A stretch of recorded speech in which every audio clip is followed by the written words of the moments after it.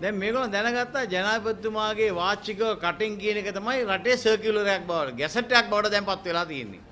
ඒ නිසා හොරකම වංචාව දූෂණය මේකෙන් කරන්න පුළුවන් කියලා සෙට් කරගෙන ව්‍යාපාරිකයින් තමයි දැන් වැඩිම ජනතාව නෙවෙයි යන්නේ.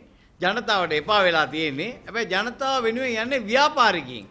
ගිහිල්ලා උන්ගේ ඉඩම් ප්‍රශ්න අර ප්‍රශ්න මේ ප්‍රශ්න දීලා දැන් මෙයා වාචිකව කියනවා. කියව වෙනුවෙන් නිලධාරි ලියනවා. ලියපු හැටිම මේක නීතියක් බවට පත් වෙලා උන් අවස ජනාධිපතිතුමා ගිය හැටිම ඉඩම් කඩම් ඔක්කොම අරගෙන සෙල්ලම් දාන එක දැන් අපි දකිනවා.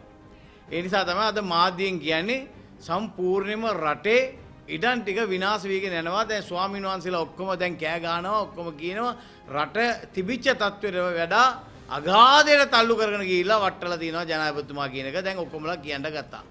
දැන් මේකේ මොකද්ද මේක ලොකු වීලුවක් වෙලා තියෙන්නේ. දැන් අපි දැක්කා මුලින්ම පළවෙනි එකකින් වැලියාවාරම්. හරි මෛත්‍රීපාල සිරිසේන ජනාධිපතිතුමා මේ වැලි නිසා එයාගේ පවුලේ කට්ටියත් එක්කත් ඇප්පුණා. එයාගේ මල්ලි නැති වෙලා මරණයටවත් සහභාගී වුණේ නැහැ මෛත්‍රීපාල සිරිසේන ජනාධිපතිතුමා. මේක තමයි ප්‍රතිපත්තිම දේශපාලන කියලා කියන්නේ. හැබැයි අද ඉන්න මිනිස්සු මොකද කරුවේ? ඒ සම්පූර්ණ ඒගොල්ලන්ගේ යාළුවෝ මිත්‍රෝ අරගෙන ගිහිල්ලා කිව්වා මේ තියෙන පස් ටික ඔක්කොම ආරගෙන ඵලයන් වැලි ටික ඔක්කොම ආරගෙන ඵලයන් කියලා මුළු රටේම දැන් හාරගෙන හාරගෙන හාරගෙන කැලෑවක් දකින්න බෑ ගිහිල්ලා බලනකොට හාරලා තියෙනවා. හැරුවේ කවුද කියලා කිව්වම කවුරුත් දන්නේ නැහැ ෆොරස්ට් ඩිපාර්ට්මන්ට් එක දන්නේ නැහැ වයිල්ඩ් ලයිෆ් ඩිපාර්ට්මන්ට් එක දන්නේ නැහැ කවුරුත් දන්නේ නැහැ හැරුවේ කවුද. හැබැයි හාරලා ගෙනියන්න ඕන ඔක්කොම ගෙනියලා මේ රට විනාශ කරගෙන යනවා. එක පැත්තකින් වැලි ටික අරගෙන අපේ වැව් ටික ඉවර කරනවා.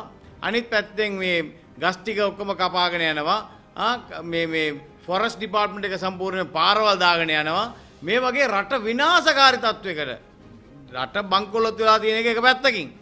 රට බංකොලොත් වෙලා තියෙන ගමන් මේවත් දිගටම වෙන එක ගැන අපි සියලු දෙනාම අද කනගාටුවට පත් වෙනවා. ඒ කියන්නේ මුළු රටේ අපිට වනාන්තරයක් නැති වෙනවා. අපිට හොඳ තැනක් ගිහිලා බලන්න කියලා තියෙන තැන් නැති වෙනවා. අපේ ටුවරිස්ට් එකට සීනරි කොයි හරි තියෙනවා නම් බලන්න යන්න ඒවත් නැති කරගෙන යන එක අපි දිගින් දිගටම මාධ්‍යයෙන් හැමදාම පේනවා. ඒ කියන්නේ අර ආණ්ඩුවේ channel දෙක නෙවෙයි. ආණ්ඩුවේ channel කියන්නේ මම රූපවාහිනී ITN නෙවෙයි. ආණ්ඩුවේ channel කියලා දෙකක් තිබුණානේ. මේගොල්ලෝ බලයට ගෙන ආපු channel. ඒ channel තමයි වැඩියම කුප්පාඩි වැඩ කරන්නේ කියන එක අද හොඳටම ඔප්පු වෙලා තියෙනවා. ඒකට ඒ ඒ වගේම දැන් අලි ටිකට ඉන්න නැහැ. දැන් අලි හැම තැනම පෙරලි පෙරලි යනවා. අලින්ගේ වැට ටිකක් ගා ගන්න බැරි ආණ්ඩුවක් තමයි මේක.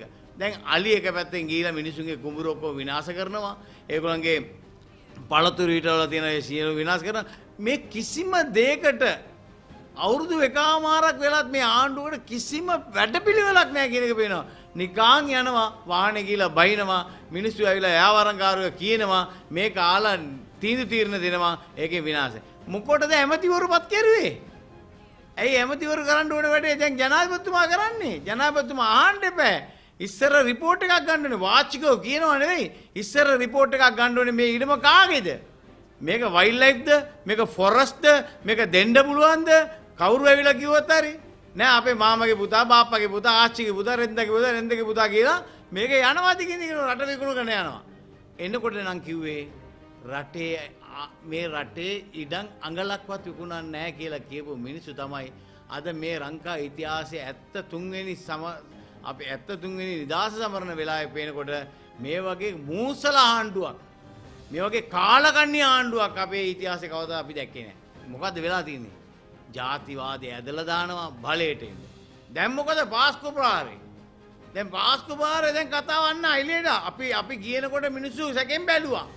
අපි අන්තවාදී ත්‍රස්තවාදී කිව්වා. දැන් අපිද අන්තවාදී ත්‍රස්තවාදී කෝ පාස්කු ප්‍රහාරේ ඒකේ තියෙනවද කොයි හරි? මුස්ලිම් එක්කෙනෙක්ව නම් කරලා තියෙනවද? ඇයි ඒ?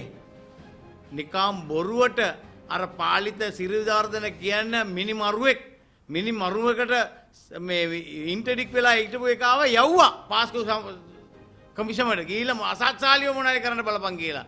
අසත්සාලිගේ මයිල් ගාකවත් ඔල්ලන්න බෑ කියලා මම එදා කිව්වා. ඒක අදටත් කියනවා. ඒකයි වුණේ අන්තිමට. පාස්කු කොමිෂමේ වාර්තාව ඇවිල්ලා තියෙනවා. මොකද්ද තියෙන්නේ?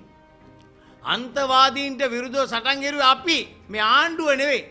මේ ජනාධිපතිතුමා නෙවෙයි මේ කැබිනට් එක නෙවෙයි අපි තමයි අන්තවාදී. එදා LTT ත්‍රස්තවාදීන්ටත් විරුද්ධව කතා කරනකොට මේ ලංකාවේ ඉන්න මුස්ලිම් ත්‍රස්තවාදීන්ට වෙනුවත් අපි කතා කරුවා විතරක් නෙවෙයි. අපි තමයි පැමිණිලි කෙරුවේ සියලුම ආරක්ෂක ලේකම්වරුන්ට. අපි තමයි ගිහිල්ලා මාධ්‍ය අමු තියලා කිව්වේ සාරාණ්ඩු අත්අඩංගුවට ගන්න කියලා 2017 දී ඒවා කරලා තිබුණා නම් මේවා නැහැ දැන්කෝ සාරාන්ගේ ලොක්ක කවුද?